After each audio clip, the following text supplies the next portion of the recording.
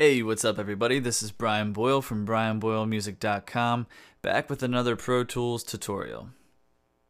Today, we're going to be talking about improving your mix. In the last video, we discussed how to use a spectrum analyzer to help your ears learn from your eyes. Now, a spectrum analyzer, as pictured right here, uh, gives you a snapshot of what your mix looks like at any given moment in time. It will show you exactly which frequencies are present at 1 minute 32 seconds and 10 milliseconds. But what a spectrum analyzer cannot do is show you how the frequencies in your mix are distributed over time. To do this, we need to utilize another tool, and this is called a spectrogram. Now before I explain exactly what a spectrogram is or what it does, I want to show you an example of what it looks like. Then we can dive into the specifics of how it works and what we're seeing. So I've got Pro Tools open here. Just gonna open it up, and this is a, a, a beat that I made, and um, on my master fader, which is taking the audio from all the channels, I have the iZotope Insight plugin and my spectrogram open. So I'm just gonna play this beat from the very beginning, and you can get an idea of what a mix looks like in a spectrogram.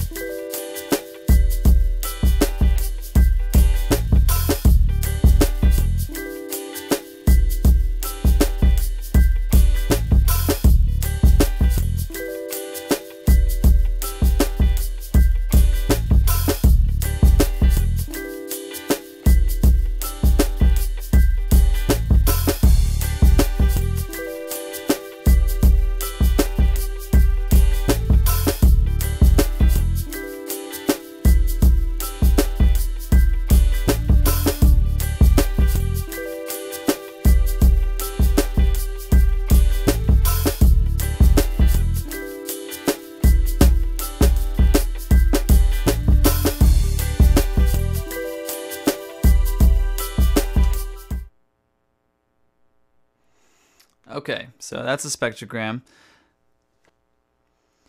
So there's a lot going on here, but what we're looking at is basically a spectrum analyzer with an additional variable, um, in this case being time. On the x-axis down here, you can see it's labeled in seconds. This is 0.0 seconds, and this is all the way to 6 seconds. So it, as we see it rotating, we're seeing a 6 second picture of what the mix looks like, you know, in those past 6 seconds. So as I said, the x-axis represents time, while the y-axis represents frequency. And then finally, the height or brightness of the sound represents the volume in decibels. Alright, so I want to start by talking about the drums. I've got the kick soloed, and we are going to take a look and a listen. Uh, so the kick is sitting heavily in the low end of the frequency spectrum. Um, you can see that it's very loud, or hear that it's very loud. So in uh, that re is reflected on the spectrogram as being very bright or very tall. If I go to the lower view, you can see that uh, it's tallest in the lowest, you know, in the lower ends of the frequency spectrum. I'm gonna go back to the high view and solo the snare this time. So you can see I dropped the snare in between the kicks um, and instead of being more in the low end of the spectrum, uh, it's the snare has a lot of frequency content um, in the mid range and all the way up to 20,000 hertz or 20 kilohertz. So you can see that it's living in a different space in your mix or just occupying different frequencies in the spectrum.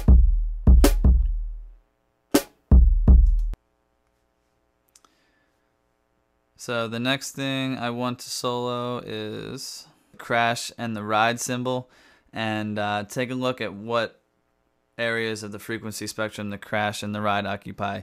It's going to be mainly from 15,000 hertz uh, all the way down to you know 100. So, um, but see what it looks like in, in on the spectrogram. This you're looking at right here is the crash if I take away the snares and the kick, you can see the ride.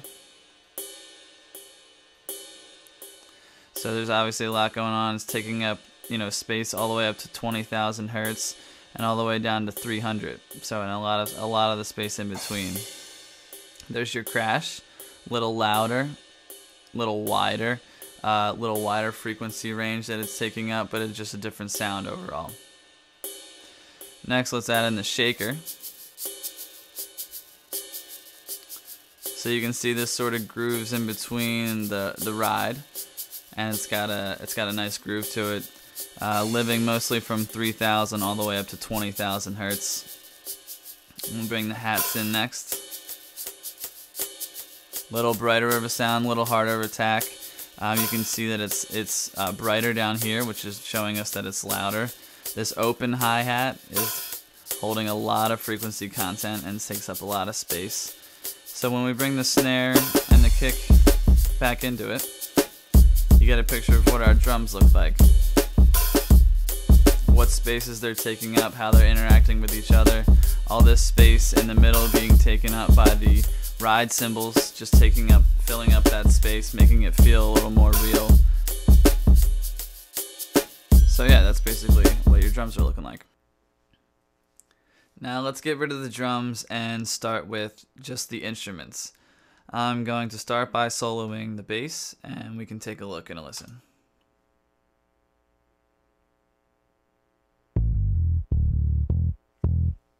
So like the kick, you can see the bass is very much living in the low end of the frequency spectrum.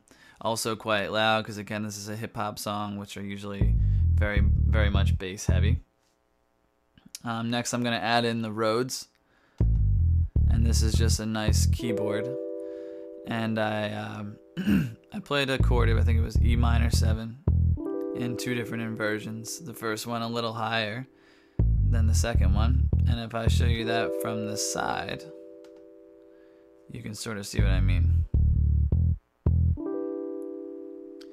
So you can actually, if you zoom in far enough, you can actually figure out which you can see the different fundamental frequencies and which notes are being played. You can see there's four notes there and you can see there's one, two, three, four here as well. So uh, they're just in different inversions and it's the same chord. So let's go back to the front high view. And next we'll bring in the piano, mute the bass.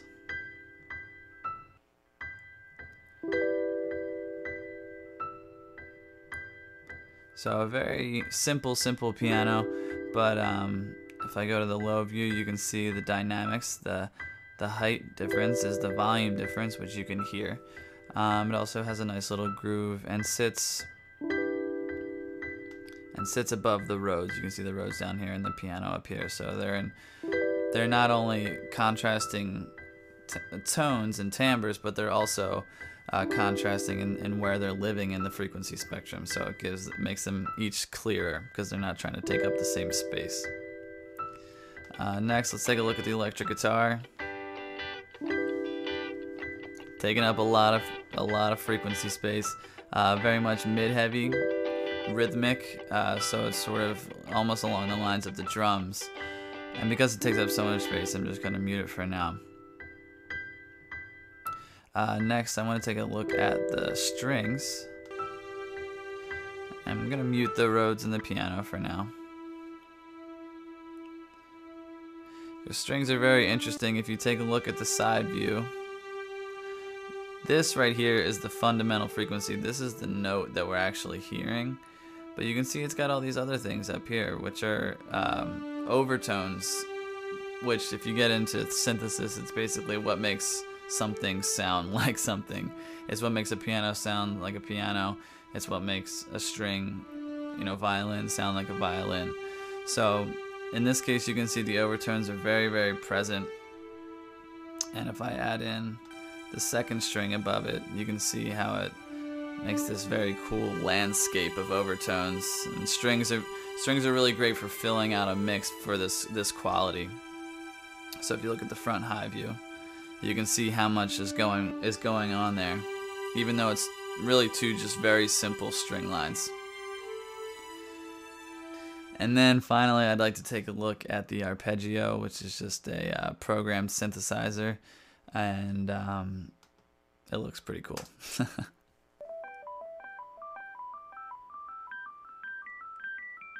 So you can hear it climbing up the scale and you can see it climbing up the scale. And then as it starts to fall again, you can see the fundamental frequencies down here falling.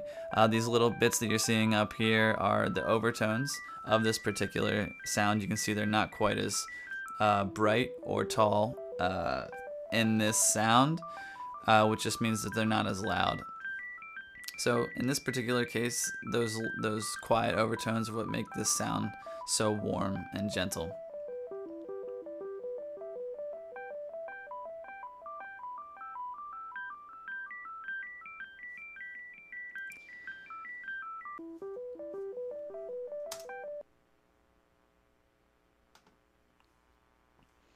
So now that you've got an idea of what each of the different sounds look like on their own, I'm going to play this mix again with all of the instruments present so you can take a look at the spectrogram and get a better idea of exactly what you're looking at, you know, which instruments you're seeing and where they're living in the frequency spectrum.